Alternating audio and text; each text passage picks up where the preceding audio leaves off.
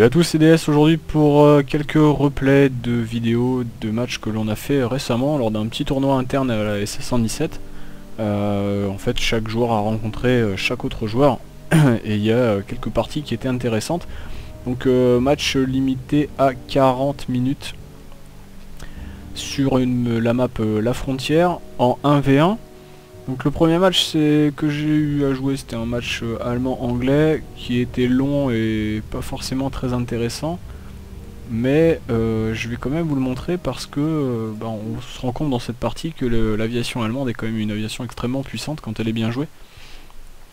Et que l'anglais, lorsqu'il n'arrive pas à, tenir rapidement le début de partie, devient plutôt difficile à, garder pour la fin de la partie.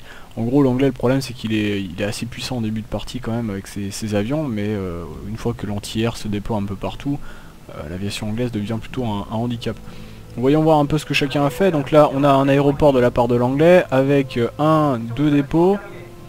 De mon côté j'étais parti sur base d'artillerie et DCA donc étonnamment un dépôt, deux dépôts, trois dépôts, quatre dépôts je commence à sortir mes flags 20. Donc comme je disais tout à l'heure, l'aviation anglaise, avec quelques paras qui ont, euh, que JM a tenté d'envoyer pour, je pense, euh, prendre les dépôts.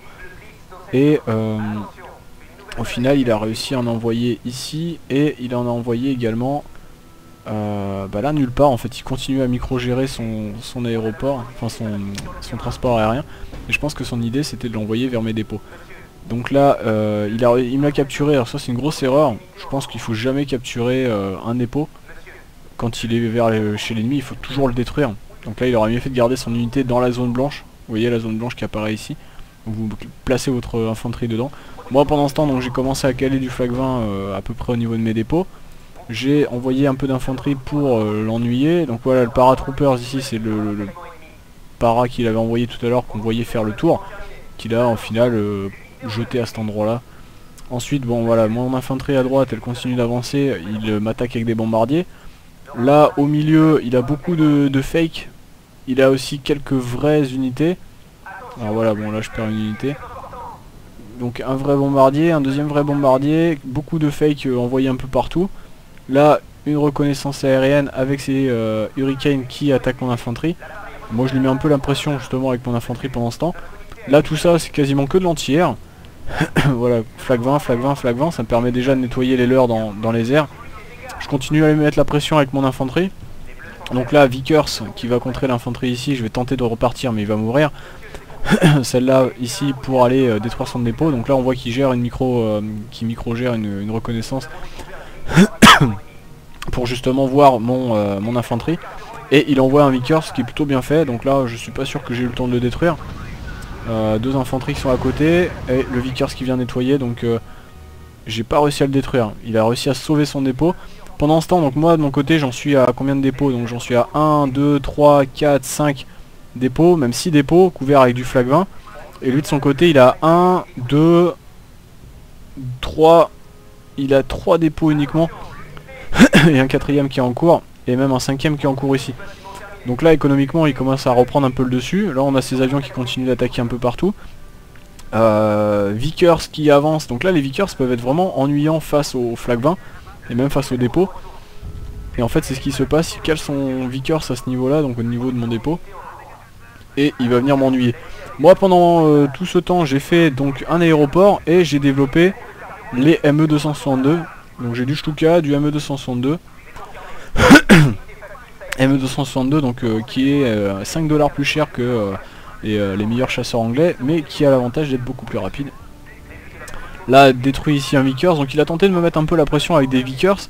Moi la différence j'avais pas grand chose mais j'ai sorti quand même quelques flags 88 plus les flags 20 donc on avait quand même une belle défense anti-aérienne éventuellement anti-char. Par contre s'il avait fait de l'artillerie là à ce moment là ça aurait pu vraiment être très nocif. Euh, le truc aussi c'est que là il commence à sortir de l'anti-air, ce qui est assez étonnant pour un anglais, parce que bon en règle générale l'anglais est suffisamment puissant, donc voilà on commence à avoir de l'artillerie qui sort. Moi je continue à mettre la pression, hein, donc sur les flancs ici, euh, sur les flancs encore ici, il n'y a aucune infanterie dans les villes, donc ça ça me permet de passer euh, à peu près tranquillement. J'ai quand même réussi à lui péter un dépôt ici, donc il doit tourner avec plus que 4 dépôts, 1, 2, 3 et 4 dépôts, on voit pas très bien avec le camouflage, j'ai dit 4 dépôts, 3 dépôts pardon, le quatrième était là, il l'a perdu, et il a fait un CA entre temps. la partie pour l'instant me donne l'avantage parce que j'ai aussi un CA puisque j'avais plus de dépôts. Et en gros la partie va se dérouler à peu près comme ça sur le reste de, bah, de la partie. Je vais avoir moi de mon côté de l'anti-air, lui de son côté il va faire de l'aviation, donc là on voit comme un gros gros tas d'aviation. Et euh, j'en profite pour faire un peu de, de donc effectivement j'ai fait une base proto à cet endroit là. Et euh, on va voir que cette stratégie est à peu près réutilisée dans les deux parties suivantes. Donc euh, pour aller déblayer un peu donc ces quelques dépôts qui lui restent et également son infanterie et son artillerie. Voilà, là un dépôt qui saute et là c'est une erreur de ma part, il a avancé un peu trop près, ça c'est bien dommage d'ailleurs. Mais bon, peu importe c'est pas toujours évident de, bien gérer. Alors j'ai aussi balancé des recos un peu partout pour euh, le cas où il tentait de faire un tour avec euh, des paras ou des bombardiers, euh, ce qu'il n'a pas fait de la partie. J'ai donc bloqué les villes. Alors petite astuce aussi qui est pas mal, c'est de mettre ces unités. En fait vous les placez à peu près ici sur la route et par, naturellement elles vont aller se mettre dans la forêt. Parce que les unités dès qu'elles ont la possibilité de se mettre à couvert à proximité, elles le font. Donc là voilà c'était l'intérêt. Entre temps j'ai sorti donc un Puma, des Warble pour euh, accentuer, mon support anti-air, quelques Stuka qui attaquent ses Vickers, son infanterie qui est poursuivie par le Puma, il y a du flag 20 ici pour l'accueillir. Et donc les Warble qui prennent un petit peu cher, Wurfaman et Morcer, donc vraiment de la base proto. Et là euh, bah voilà on a une pluie d'obus sur, euh, sur l'aéroport avec le Morcer. Et voilà là c'est un gros gros carnage. Donc le Morcer artillerie allemande, longue portée, 2 km 4 je crois, voilà 2 km 4. Euh, qui coûte 60 dollars aussi, donc c'est pas quelque chose qu'on sort régulièrement, mais qui est extrêmement puissante puisque elle couvre à peu près, euh, à peu près les deux tiers de cette carte. Donc celle-ci quand même, euh, la frontière, c'est une carte qui est très très grande. C'est assez rare qu'on joue dessus d'ailleurs, mais là le, tournoi est organisé par Vedang, il a décidé qu'on jouait sur celle-ci, donc pourquoi pas. Et l'avantage des, grandes cartes est donné surtout à des nations comme bah, je pensais justement à l'Angleterre et je pensais aussi aux, aux Russes. Donc l'Angleterre, je pense que l'anglais aurait mieux fait de faire des bombardiers pour aller péter l'économie de l'allemand dès le départ, ce qu'il n'a pas fait, donc il a voulu tenter avec les paras de faire euh, bah, de casser l'économie, mais ça n'a pas marché. Voilà, donc à ce moment-là, ben, en fait, je me retrouve avec un contrôle euh, aérien euh, et sol.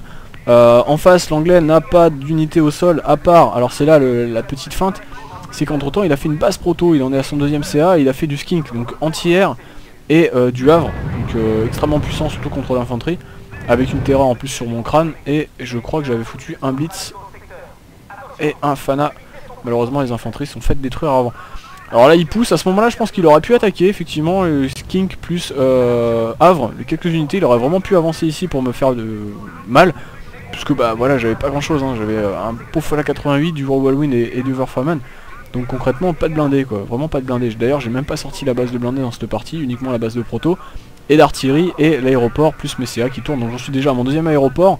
Je tourne avec euh, mes ME262, donc ça c'est des vrais, hein, pas de blague. Euh, reconnaissance aérienne pour être sûr qu'il ne se passe rien sur les côtés. Et vérifier aussi s'il y a des unités dans les villes, ce qui n'est pas le cas.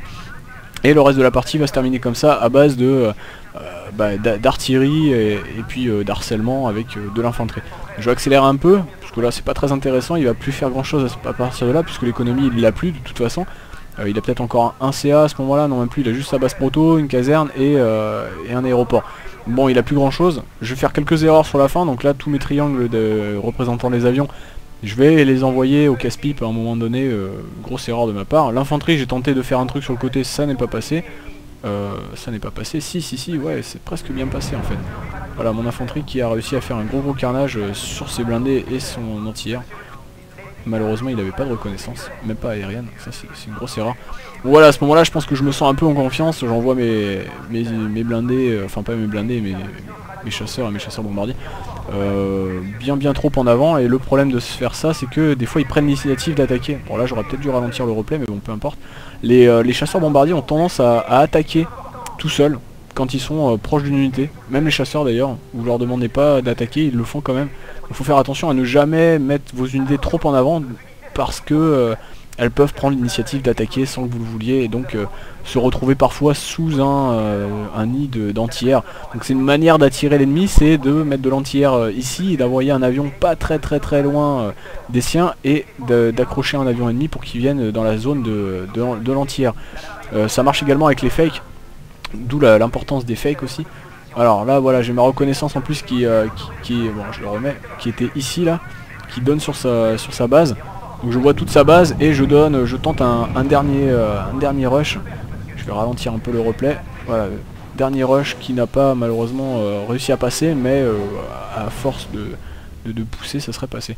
Bon, petit replay un peu expéditif, pour ceux qui n'ont pas l'habitude, il vaudrait mieux regarder le replay au ralenti, mais l'idée c'était vraiment de montrer que l'anglais, bon, c'est une unité très puissante, qui est vraiment intéressante au début de partie parce qu'elle a des avions peu chers et rapides, mais que euh, quand tu blindes d'anti-air, tu peux euh, comme ça prendre le contrôle.